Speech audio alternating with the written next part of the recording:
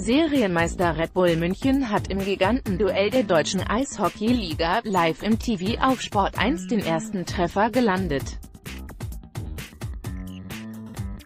Das Team von Rekordtrainer Don Jackson gewann das hart umkämpfte erste Playoff-Finale beim Hauptrundensieger Adler Mannheim mit 2 zu 1, 0 zu 0, 0 zu 1, 1 zu 0, 1 zu 0 nach Verlängerung und machte den ersten Schritt zu seinem vierten Titel in Folge.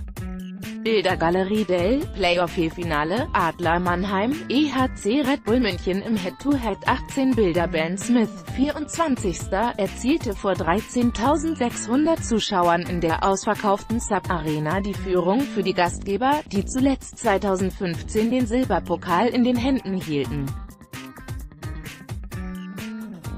Mauer schießt München zum Siegmatch Deichan, 48. und Frank Mauer, 79. drehten das Spiel zugunsten der Münchner, die im zweiten Spiel der Best-of-Seven-Serie am Samstag ab 19.55 Uhr live im TV auf Sport 1 Heimrecht haben. Wir sind immer besser ins Spiel gekommen und nehmen den Sieg mit. Aber wir müssen besser spielen, die Adler werden auch zulegen, sagte der Siegtorschütze Mauer bei Sport 1, aber es ist nur ein Spiel, Jackson überholt Zach Jackson, der in seinem zehnten Finale seinen neunten Meistertitel anpeilt, stellte im ersten Endspiel einen weiteren Rekord auf mit seinem 839. Dell-Spiel ließ der Amerikaner die Trängerlegende Hans Zach 838 hinter sich sein Team, das sich im Halbfinale gegen die Augsburger Panther in der längsten Playoff-Serie der deutschen Eishockey-Geschichte erst nach fast 505 Minuten durchgesetzt hatte, stand gegen die ausgeruhten Mannheimer von Beginn an unter Druck. Torhüter Danny aus den Birken, einer von elf Olympiahelden von 2018 auf dem Eis, bekam gleich viel zu tun. Die Adler hatten nach ihrem Finaleinzug gegen die Kölner Haie in nur vier Spielen acht Tage Pause.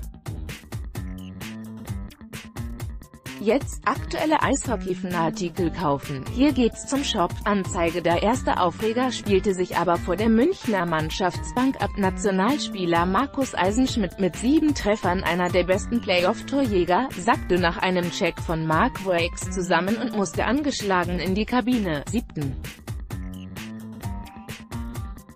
Eine Strafzeit gab es nicht. Eisenschmidt konnte wenig später weiterspielen. Meistgelesene Artikel Fußball, Europa League Halbfinale. Eintracht in Ekstase Fußball, Champions League Guardiola noch der Beste der Welt.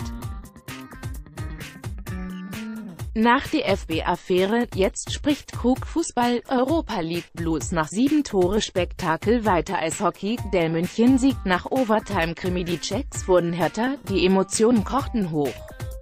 Nach 16 Minuten flogen erstmals die Fäuste, danach entlud sich die Anspannung immer wieder in Raufereien.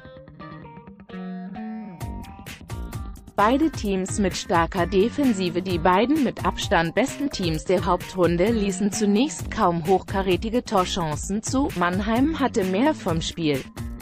Die Gäste setzten Nadelstiche mit Kontern, wie durch Yassin Illis, der einen Alleingang aber nicht erfolgreich abschließen konnte. 21. Die Adlerführung fiel in Überzahl, Smith pflückte den Puck aus der Luft und schlänzte ihn mit der Rückhand über den Schoner von aus den Birken ins Netz. Danach verstärkte der Titelverteidiger seine Angriffsbemühungen, und Mannheims Nationaltorwart Dennis Endras rückte mehr in den Fokus. Auf der Gegenseite hatte Matthias Plachter Pech mit einem Pfostenschuss, 39. Als Mannheim erneut in Überzahl war, glich Steijan aus das Spiel im Stenogramm. Adler Mannheim, EHC Red Bull München 1 zu 2, 0 zu 0, 1 zu 0, 0 zu 1, 0 zu 1 N. Tore 1 zu 0 Smith, 24 Uhr 1 zu 1 Steijan, 47 zu 14, 1 zu 2 Mauer, 78 zu 21, Zuschauer, 13.600 Strafminuten, Mannheim 16 München 16 Playoff-Stand, 0 zu 1 Let's Block Ads.